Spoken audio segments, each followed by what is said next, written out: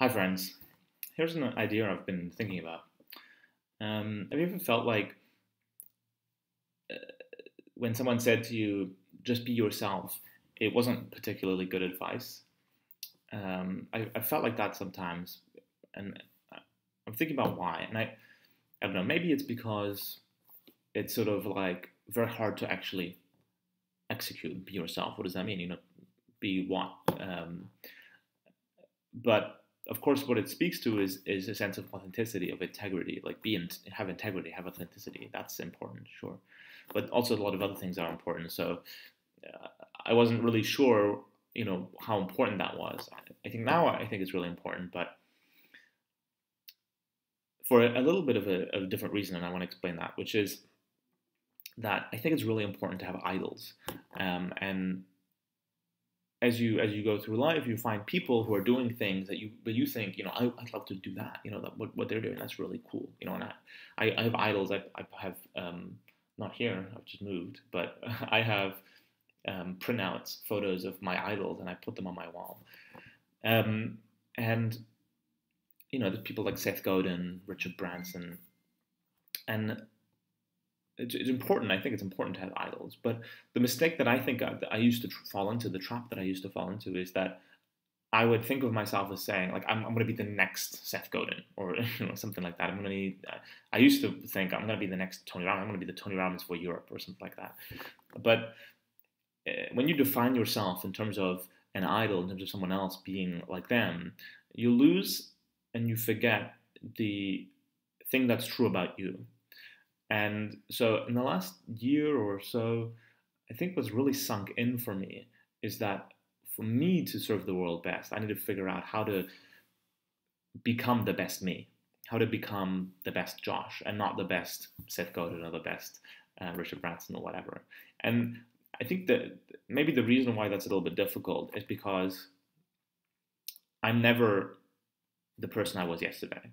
And so I've never I met the person I'm going to be tomorrow, right? So I, I know what you know these idols look like um, in their stage of life and where I want to be at, at, that stage of life. So I, it sort of gives me something to shoot for. But for my own self, if I say I want to be the best me, well, I don't know what that looks like, and that's the that's the hard part. But it's much more worthwhile if you think about.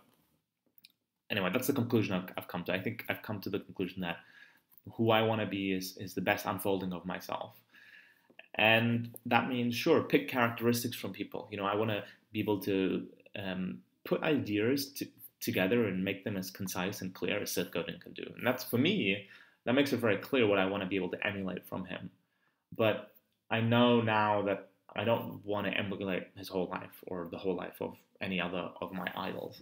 Instead i pick what are the attributes the characteristics that i really love that i really want to make part of myself that or maybe that I feel like I'm already part of me somehow, and that I can bring out more, and and use idol in that way. I don't know. that's a bit a bit all over the place, but that's my new perspective on on um, on having idols. It's a uh, it's harder. Um, um, it's less straightforward, um, but I think it's much more holistic in the end, and and allows me to live uh, a more honest life. So I don't know. Maybe those thoughts have been helpful for you. Um, think about it. Let me know. What idols do you have, and what characteristics really are you trying to emulate from those idols? And and what have you maybe found out about yourself um, that's unique to you? Something that you know you you know that you want to do for yourself. That yeah, I mean, maybe I think that's also the other thing I realized was that when I think about really who I want to be and who I am, I realize who my idols become better. You know, like I don't think in the past I really thought of myself as being like as uh, you know a real huge Seth Godin fan. I always I've read his books for many years, but uh, I think when I recently in the last two years realized that I love creativity and working on lots of different projects, and, and I'm driven hugely by curiosity and doing new things again and again, just starting new things. I realize that's what Seth Godin is doing his whole life, you know, and so that's kind of something that I want to emulate too, you know, successfully doing new things constantly, um, trying doing things in new ways too, you know. I mean, Seth Godin has published so many books, which is doing the same thing, but every time he does a book, he does it in a different way. Um, just recently, he published a, a book that's like a magazine format, high gloss photos. You know, um, before that, he published a thick tome. Um, and so every book that he does, he does it differently. You know, he did a book on Kickstarter. He did an audiobook that he sold for one dollar. He does, um, you know, little books that he sells five at a time and things like that.